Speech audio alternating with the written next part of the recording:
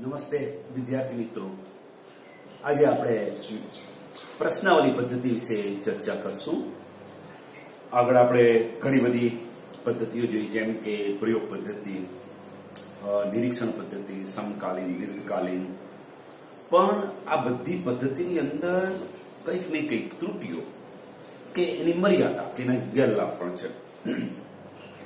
જેમ કે આપણે પ્રયોગની વાત કરીએ તો પ્રયોગ કરવામાં ઘણો બધો સમય જાય ઘણો ટાઈમ જાય, ઘણા નાણાં વેડફાય. અને ખર્ચ પણ બહુ થાય, શક્તિ પણ બહુ વપરાય. અને આપણે અભ્યાસ કરવો હોય તો એક મર્યાદિત સંખ્યામાં જ કરી શકીએ. વિશાળ સંખ્યામાં આપણે કરવો હોય તો ઘણો બધો ટાઈમ માંગી લે ટાઈમ થાય એટલે શક્તિનો પણ એટલો જ ખર્ચો થાય અને પૈસા પણ એટલા ખર્ચાય. તો આ મર્યાદાને દૂર કરવા માટે એક અલગ ટેકનિક વિકસાવવામાં આવી છે, પદ્ધતિ વિકસાવવામાં આવી છે. તેને પ્રશ્નાવલી પદ્ધતિ કહેવામાં આવે છે. આ પદ્ધતિ સાદી, સિમ્પલ અને સરળ છે. એક પ્રશ્નની યાદી હોય છે. એ એ યાદીની અંદર પ્રત્યેક વ્યક્તિએ પ્રતિભાવ આપવાનો હોય છે લેખિત સ્વરૂપમાં. અને એ પણ કેવો, હા કે નામાં સંમત, અસંમત કે સંપૂર્ણ સંમત, કે સંપૂર્ણ અસંમત, આવી રીતે. તો આપણે આજે પ્રશ્નાવલીની ચર્ચા કરશું. પરીક્ષાની અંદર તમારે પ્રશ્નાવલી પદ્ધતિ અવારનવાર પૂછાય છે, એની વ્યાખ્યા પૂછાય છે. તો કે પ્રશ્નાવલી પદ્ધતિ એટલે શું? તો સાદી, સિમ્પલ એની વ્યાખ્યા આપું. તો કે પ્રશ્નાવલી પદ્ધતિ એટલે પ્રશ્નોની યાદી. સાવ નાની, સિમ્પલ વ્યાખ્યા. કે પ્રશ્નોની એક યાદી હોય એને પ્રશ્નાવલી પદ્ધતિ કહેવામાં આવે છે. પણ આપણે એની વ્યવસ્થિત વ્યાખ્યા કરું તો પ્રશ્નાવલી એટલે કોઈ ચોક્કસ સમસ્યા કે હેતુને ધ્યાનમાં લઈ કે હેતુને ધ્યાનમાં રાખીને તે અંગે માહિતી મેળવવા માટે બનાવેલી પ્રશ્નોની યાદી. જેમ કે અત્યારે કોરોના ચાલે છે. તો આપણે કોરોના અંગે એની માનસિક ઇફેક્ટ લોકો ઉપર શું થઈ છે? તો આ આપણો હેતુ થયો.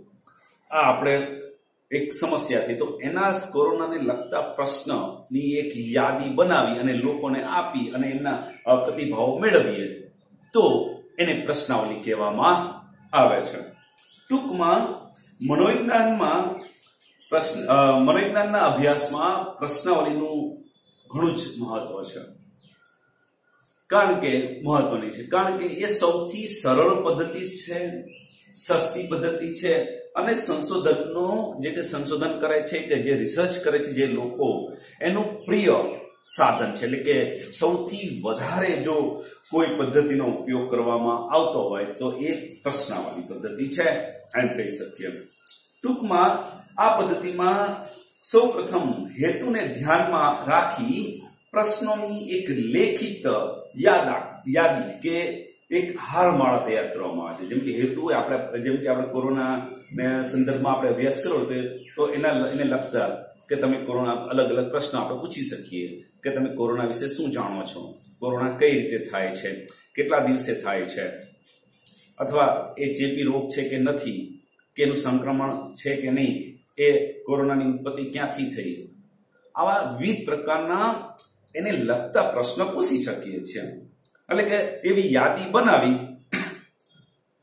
ત્યારબાદ એ યાદી ઉત્તરદાતાને પ્રશ્નાવલીના સ્વરૂપમાં રૂબરૂપ આપવામાં આવે છે કે ફેસ ટુ ફેસ આપવામાં આવે. અથવા તો બીજી સગવડતા એ પણ છે કે જે દૂર રહેતા હોય તો એને આપણે તમે ટપાલ દ્વારા પણ પ્રશ્નાવલી મોકલી શકો છો. અને આપણે એના ઉત્તરો પ્રાપ્ત કરી શકીએ છીએ.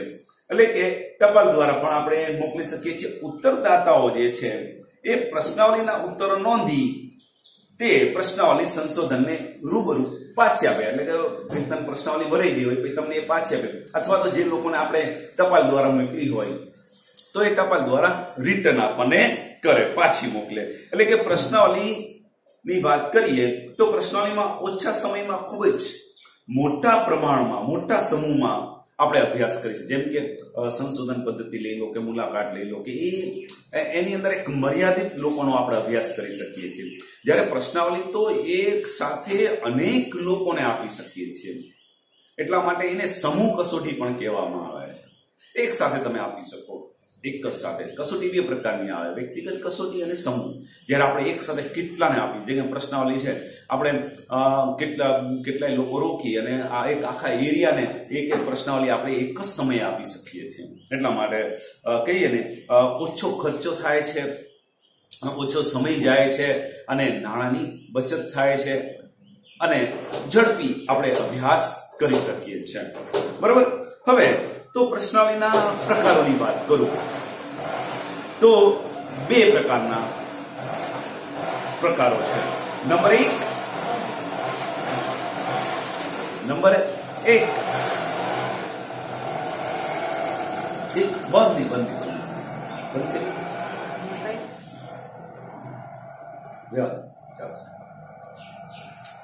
અમારી માં આવશે બધું ધ્યાન આપજો. તો બે પ્રકારના છે કે બંધ પ્રકારની અને સાંકેતિક. એમાં શું હોય કે કોઈ પ્રશ્ન જે છે એ સીમિત. જેમ કે હું તમને એવો પ્રશ્ન પૂછું કે કે એનો જવાબ માત્ર ને માત્ર હા કે નામાં જ હોય. આપણે એમ પૂછીએ કે અત્યારની સ્ત્રીમાં વડાપ્રધાન બનવાની લાયકાત છે? તો આ જે પ્રશ્ન જે છે ને એ બંધ પ્રકારનો આનો જવાબ માત્ર તમે શું કરો? હા કે નામ જ આપી શકો. એનાથી વધારે ન હોય.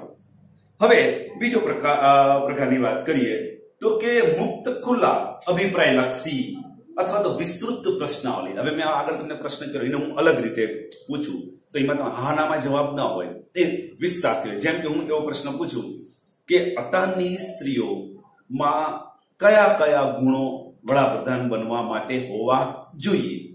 તો આ પ્રશ્ન એ બંધ પ્રકારનો નથી. ખુલ્લો અને વિસ્તૃત જવાબ આપવો પડે તમારે કે એ બુદ્ધિશાળી છે, એ એજ્યુકેટેડ છે. એકદમ, આ કહેવાય ને, એનામાં કાર્ય કરવાની ક્ષમતા છે. આવા બધા તમે એને વિશિષ્ટ પ્રકારના અંદર તમે જવાબ લખી શકો એટલે બે પ્રકારના હોય છે. તો આ વાત થઈ પ્રશ્નની વલીના પ્રકારોની. બે, એક બંધ અને મુક્ત. અથવા તો આપણે સીમિત કહીએ, અથવા તો વિસ્તૃત જવાબવાળી કહી શકીએ આપણે. હવે એના લાભોની વાત કરીએ. તો પ્રશ્નાવલીના ઘણા બધા લાભો છે. એટલા માટે એ એટલી બધી લોકપ્રિય છે.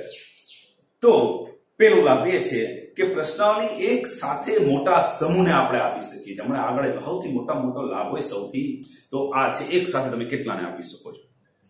એના કારણે શું થશે કે એક સાથે અભ્યાસ થશે એટલે સમયની બચત. બીજું કે નાણાંની એટલે રૂપિયાની બચત. અને શક્તિ, કે તમારે શક્તિની પણ બચત થાય છે. આ મોટા મોટો પેલો લાભ છે.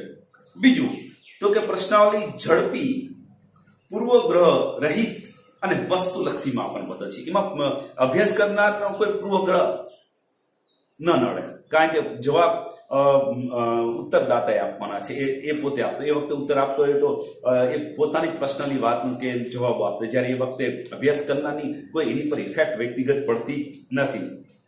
નંબર ત્રણ, કે પ્રશ્નાવલીનું સંચાલન, માહિતી એકત્રિત કરી અને વિશ્લેષણની દ્રષ્ટિએ અન્ય પદ્ધતિ કરતા એકદમ સરળ છે. એટલે કે એનું એનાલિસિસ કરવું, એનું કલેક્શન કરવું, એનું અર્ઘટન કરવું, એનું મૂલ્યાંકન કરવું, આ બધું છે ને બીજી પદ્ધતિ કરતા બહુ ઇઝી છે. આના માટે લો- જે વ્યક્તિ પ્રશ્નાવલીનો યુઝ કરે છે, એને કઈ વિશેષ પ્રકારની તાલીમ લેવાની જરૂર પડતી નથી. એ થોડીક અનુભવ પડી જાય કોઈના હાથથી થોડું કામ કરી લે માહિતી મેળવી લે, એટલે આસાનીથી પ્રશ્નાવલીનો ઉપયોગ કરી શકે છે. નંબર ચાર. અને છેલ્લો ફાયદો કે પ્રશ્નાવલીમાં પ્રશ્નના સંદર્ભમાં જ માહિતી પ્રાપ્ત થતી હોવાથી બિન જરૂરી માહિતી આપણે પ્રાપ્ત થતા રોકી શકે ઘણા અભ્યાસમાં કેવું થાય છે કે આપણે અભ્યાસને લગતી જે માહિતી જોતી હોય એના બદલે બીજી બીજી માહિતી એના કારણે આપણો અભ્યાસ આખો અભ્યાસના પરિણામો વિકૃત થઈ જાય જ્યારે આની અંદર તો શું છે કે જે આપણે માહિતી જોઈ છે એ જ પ્રાપ્ત થાય. કારણ કે આપણે સમસ્યાના સંદર્ભમાં જ પ્રશ્ન હોય છે અને એના સંદર્ભમાં જ જવાબ મળતા હોય છે. એટલા માટે બિનજરૂરી બિનજરૂરી, બિનઉપયોગી, વિકૃત માહિતી આપણે એકઠી થતી નથી અને પરિણામો કેવા મળે છે? શુદ્ધ મળે છે. હવે આપણે એની મર્યાદાની વાત કરી લઈએ તો નંબર એક કે પ્રશ્નાવલીનો ઉપયોગ માત્ર ને માત્ર શિક્ષિત વ્યક્તિઓ જ કરી શકે છે. જે લોકો અશિક્ષિત છે, જેણે શિક્ષણ પ્રાપ્ત નથી કર્યું, એવા લોકો કરી શકતા નથી. એટલે કે એજ્યુકેટેડ વ્યક્તિઓ અનએજ્યુકેટેડ વ્યક્તિઓ આનો ઉપયોગ કરી શકતા નથી. આપેલી મર્યાદા. નંબર બે, આપણે આગળ જોયું કે પ્રશ્નાવલી ટપાલ દ્વારા પણ આપણે મોકલી શકીએ છીએ. પણ એવું બને કે તમે ટપાલ દ્વારા મોકલો. પણ જે મેળવનાર વ્યક્તિ છે, એ રિટર્ન ન મોકલે તો એ આપણા માટે નુકસાનકારક સાબિત થાય. તો ખર્ચો પણ થાય અને સમય પણ બગડે અને રિટર્ન ન આવે એટલે અભ્યાસની અંદર ઉણપ પણ ઊભી થાય. નંબર ત્રણ, કે પ્રશ્નાવલીમાં સાંકેતિક કે બંધ પ્રશ્ન હોવા, હોવાથી પ્રાપ્ત માહિતીમાં વિવિધતા, સર્જનાત્મકતા કે વૈયક્તિકતા જોવા મળતી નથી. પ્રશ્ન કેવા છે? સીમિત છે. હા નામાં જવાબ આપવાના હોય છે. એના કારણે શું થાય છે? કે પ્રશ્નની અંદર વિશિષ્ટ પ્રકારની વિવિધ માહિતી આપણે જોઈએ. જે મળતી નથી. જેમ કે મુલાકાત પદ્ધતિમાં તમે સામેવાળા વ્યક્તિને પૂછો ત્યારે વિવિધ પ્રકારની માહિતી કે સર્જનાત્મક એના વિચારો કે કાંઈ પણ? તમે પ્રશ્ન પૂછી પૂછીને, મૌખિક પ્રશ્ન પૂછીને માહિતી ઘડાઈ શકો છો. જ્યારે આમાં આપણે એવું કંઈ કરી શકતા નથી. આપણે કંઈ એની મર્યાદા છે છેલ્લી મર્યાદા જોઈ લઈએ. કે પ્રશ્નના ઉત્તરો લખવા માટે શિક્ષિત અને પ્રશ્નાવલીની ભાષા જાણનારા લોકો જ એનો જવાબ આપી શકે છે અને આપણે એનો એક નમૂના તરીકે નિર્દેશ તરીકે આવા લોકોને જ પસંદ કરી શકીએ છીએ. બીજા લોકોને કરી શકતા નથી. એ ઉપરાંત બાળકો એનો જવાબ નથી આપતા, વૃદ્ધ લોકોને, પછી સાદીમાં મંદ બુદ્ધિના લોકો છે, માનસિક રીતે વિકૃત છે, પ્રાણીઓ, કે આવા લોકો આપણે આવા બધા પરિબળો કે લઈ શકતા નથી. આ એની મર્યાદા છે. મર્યાદા હોવા છતાંય પ્રશ્નાવલી પદ્ધતિ એ સૌથી વધારે લોકપ્રિય સાધન છે અને સૌથી પોપ્યુલર સાધન છે એમ કહી શકાય. તો અહીંયા આપણે પ્રશ્નાવલીની ચર્ચા પૂરી કરીએ છીએ. આપણે નેક્સ્ટ મુલાકાત પદ્ધતિની આપણે વાત કરશું.